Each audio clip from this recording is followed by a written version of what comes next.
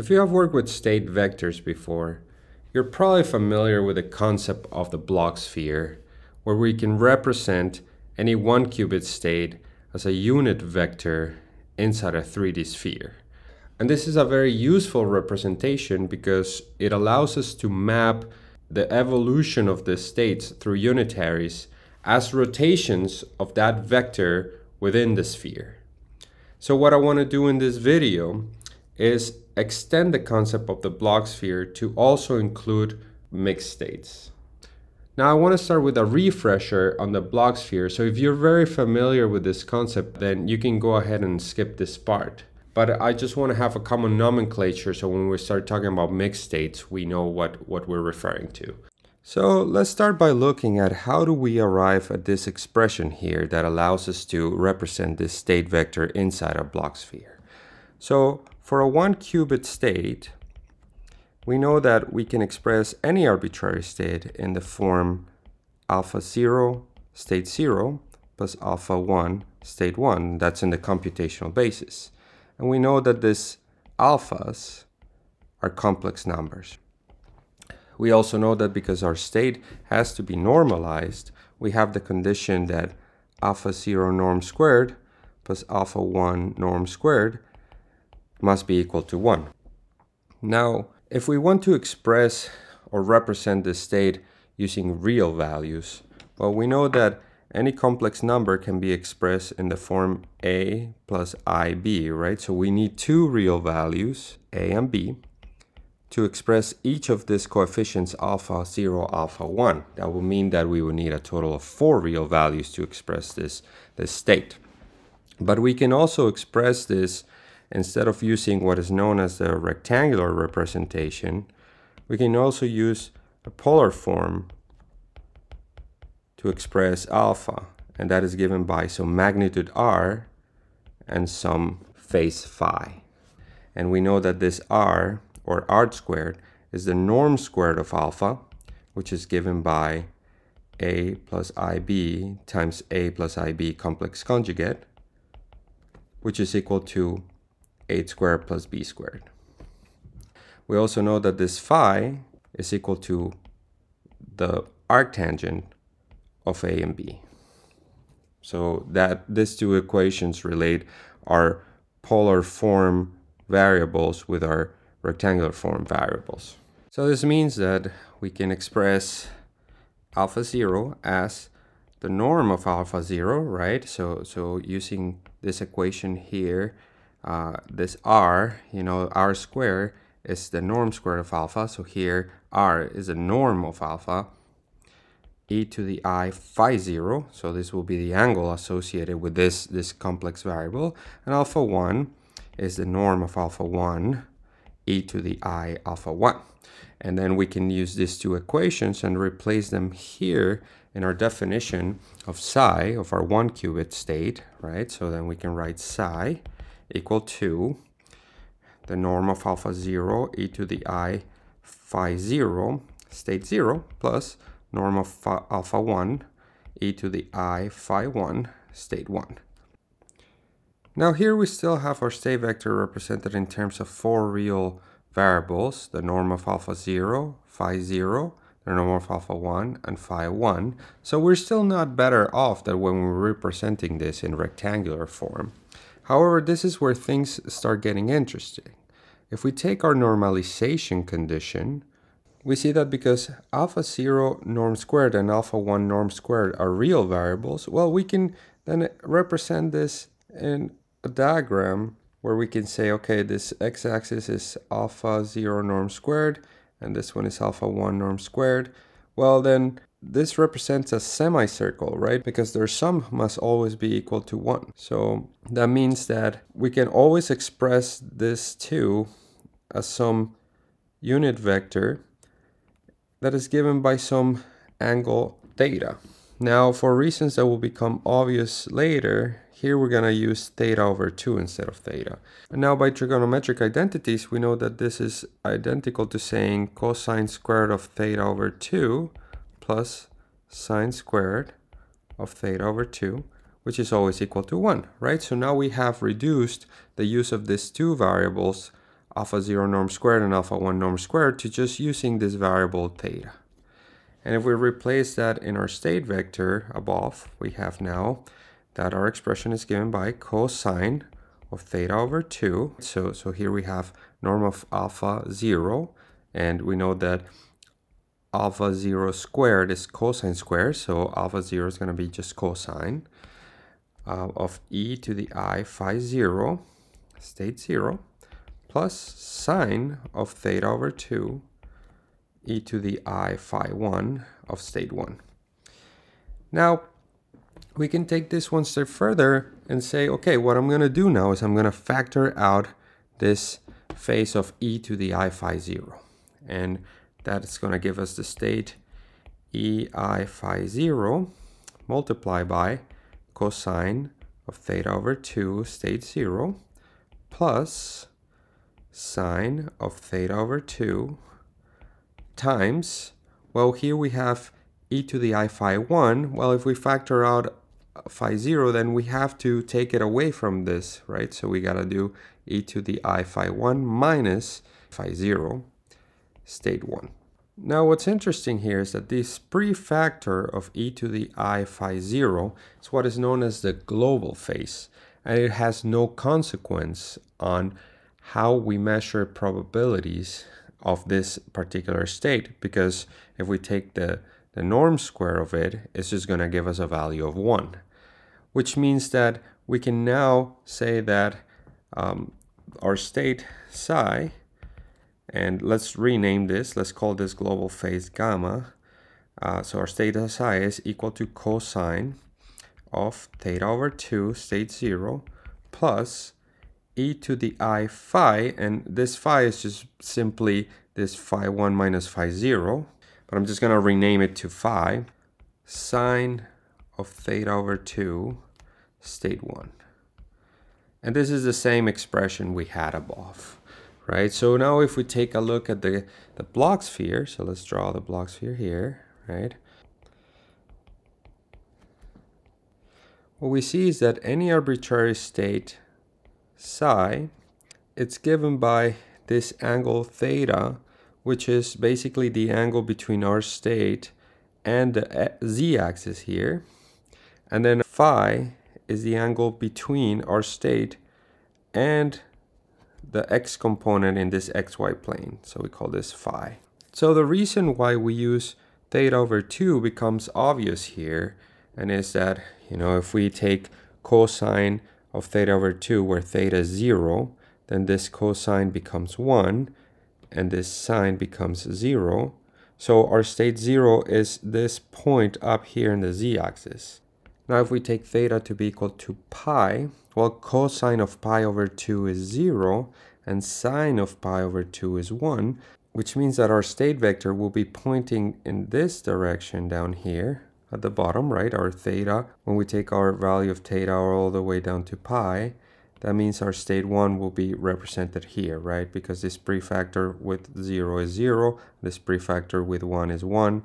And then this factor of phi is the angle of the state in the xy plane, which is uh, from 0 to 2 pi. So here we have that theta is between 0 and pi and phi goes from 0 to 2 pi. So as we can see here, our vector for psi is always a unit vector, so it's always on the surface of the Bloch sphere, and all that determines its location are these two variables, theta and phi. Now, since it's always hard to visualize this writing it down, uh, I created this application where we can see what uh, happens to the state vector when we change the variables theta, phi, and gamma. So as we said, uh, if theta takes a value of 0, uh, then our state vector points in the plus x direction, and that's our state vector 0. Now, as we increase that value, we can see that um, the state vector rotates um, about the y-axis and uh, when we get here to the x-axis, we have an equal superposition of state 0 and state 1, and that corresponds to a pi over 2 value. And if we keep going, we can see that once we get to a value of pi for theta, uh, we get to the state 1, right? Now, let's go back to this equal superposition state. And if we now change phi, we can see that rotation uh, on the xy plane about the z-axis. And here, when it points to the y direction, we get the state uh, right, which is 1 over root 2, 0 plus 1 over root 2, i1. Now, the variable gammas, we said has no impact on the overall probabilities of measuring 1 or 0. So, you know, changing it has no effect on the uh, location in the Bloch sphere. So we can just see it as a um, pre-multiplier for both variables and it can be visualized as changing the color of the state vector, which has no impact in, in where it's located within the Bloch sphere. So now that we have reviewed the Bloch sphere for uh, state vectors, let's generalize this concept for mixed states as well. So let's go ahead and now remind ourselves that the density matrix for a pure state rho is the outer product of the state with itself, right? So if we now take this definition we have here above, let's try to copy it right? We can do this outer product by taking the ket version of this times the bra version of that. And what is the bra of this? Well, it's the same expression, but we, we have to turn our kets to bras and take our, our amplitudes and make them into their complex conjugates. So here we would have e to the minus i gamma times cosine of theta over 2, the bra of 0, plus e to the minus i phi sine of theta over 2, the bra of 1.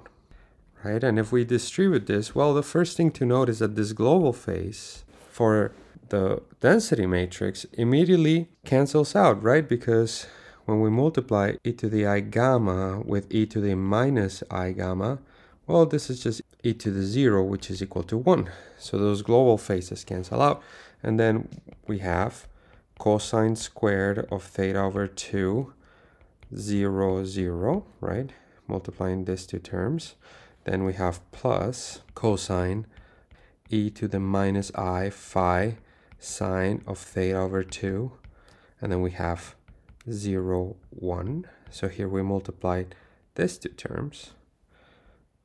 Plus, now we have e to the i phi sine of theta over 2 times cosine of theta over 2 and then we have 1 0 right? So now we multiply these two terms plus sine squared of theta over 2 1 1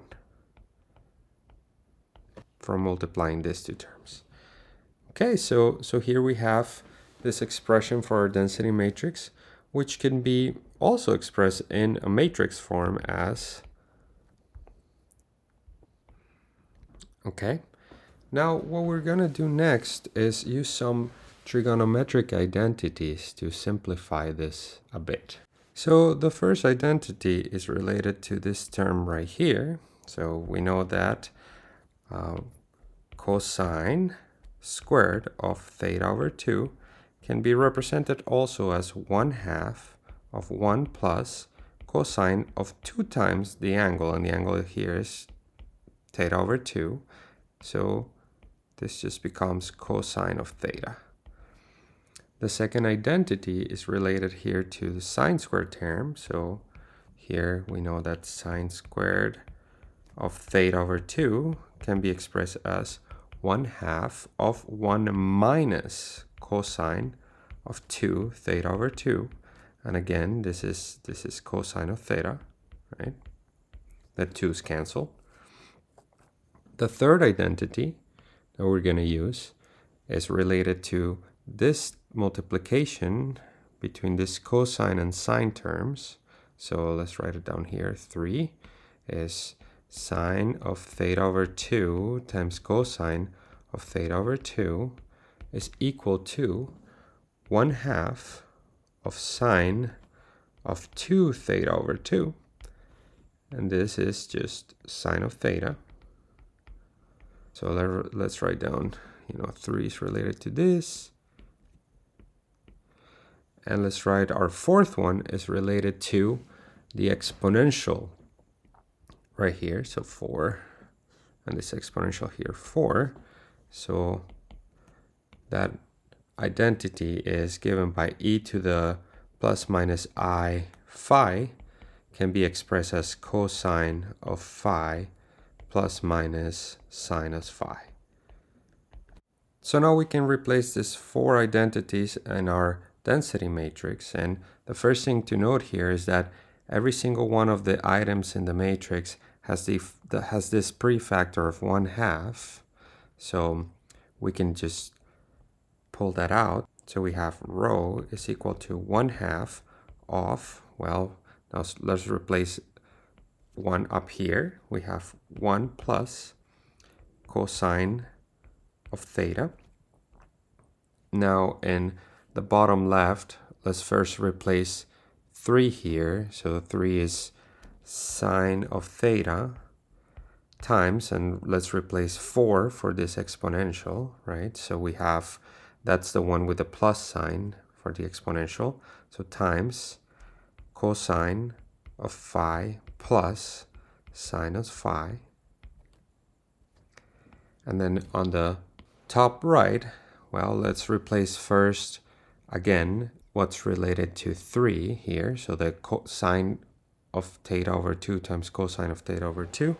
So it's a sine of theta times, now let's replace 4 for the exponential, cosine of phi minus sine of phi. And then here in the bottom right, we have uh, replacing 2, we have 1 minus cosine theta. And here we forgot to add the um, complex unit i with our sine terms. So here's all of them are i sine of phi. Okay, so the next step is to realize that when we have a vector in, you know, a three-dimensional space, let's say this is x, y, and z, right? and we have our vector psi. Well, we've represented it in terms of this angle theta and phi, right? But we have a relationship between Cartesian coordinates and polar coordinates. So we've been using these polar variables theta and phi, but we know that in Cartesian, if we have uh, variables x, y, and z, in polar form, they correspond to r sine of theta cosine of phi, r sine of theta sine of phi, and z is r cosine theta. So here we see some similarity between what we have in this density matrix and, and this relationship between Cartesian and polar coordinates, right? The difference is we're missing this, this r term. So if we, for example, take this cosine term and multiply by r, which is perfectly fine because we've been working with a pure state and we know that this norm of r is equal to 1. So it's just like multiplying by 1, right? We multiply this cosine by r. And then each of these sine theta cosine phi and sine theta sine phi, again multiply them by r, then we can replace those terms by x, y, and z variables. So we can do now that rho is equal to 1 half of 1 plus, what is r cosine theta? That's z, right? Plus z. What is sine of theta times cosine phi times r? Well, that is x, right? So we have x here. And then we have this plus i sine phi times sine of theta. So it'll be plus i y.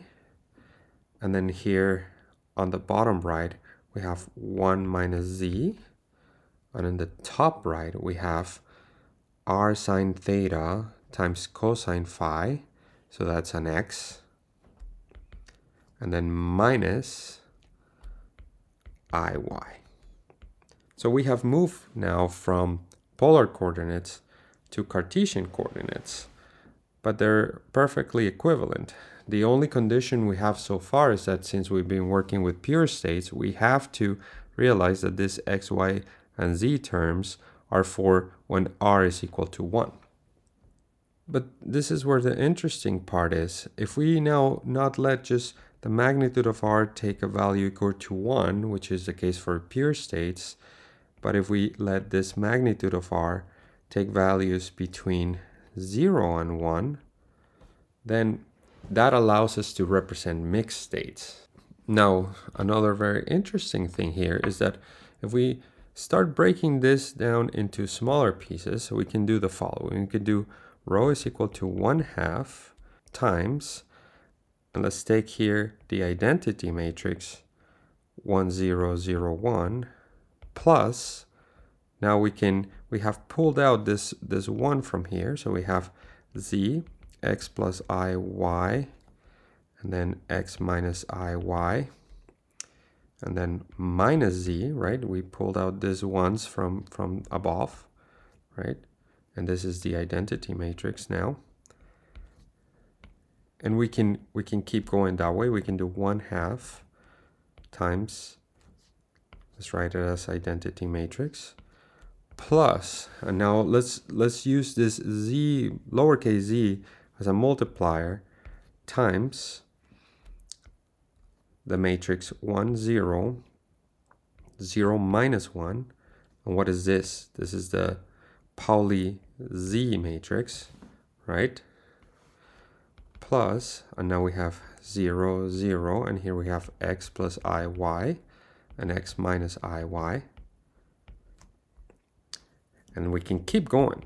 1 half of identity plus this pre-multiplier z times the Pauli matrix z and now plus pre-multiplier lowercase x times the matrix 0, 1, 1, 0. But what is that matrix? That's the Pauli X matrix. And then plus 0, iy minus iy, 0. And then finally, we have 1 half of identity plus a prefactor z times the z Pauli matrix plus a prefactor x times the x Pauli matrix plus a prefactor y times the y Pauli matrix which is is given by 0 i minus i 0 right so we can represent now this rho as a sum of Pauli matrices and the identity with some prefactors x, y, and z. And this can also be written in the form of one half of the identity matrix plus some vector r dot product this vector of matrices, let's call it p. And this, this vector r is a vector given by the components x, y, z. And this vector p is just a group of the Pauli matrices x, y, and z. So basically, this was just a long way of saying that any density matrix rho given by elements rho 0, 0, rho 1, 0, rho 0, 1, rho 1, 1 can be decomposed into the Pauli matrices and the identity matrix using some prefactors x, y, and z. And this, this vector r is what is known as the Bloch vector. And it represents our state in the Bloch sphere even for mixed states. But now this r doesn't have to have norm 1. Its norm can take any value between 0 and 1. So the best thing to do now is to look at some examples on how is it that any density matrix, including those for mixed states, can be represented by this Bloch vector in the Bloch sphere. Now this Bloch sphere is sometimes referred to as the Bloch ball because now it not only has state vectors on the surface of unit 1, but it can also have state vectors inside the Bloch sphere or inside this Bloch ball. So let's take a look at some examples to get a better understanding of what this means.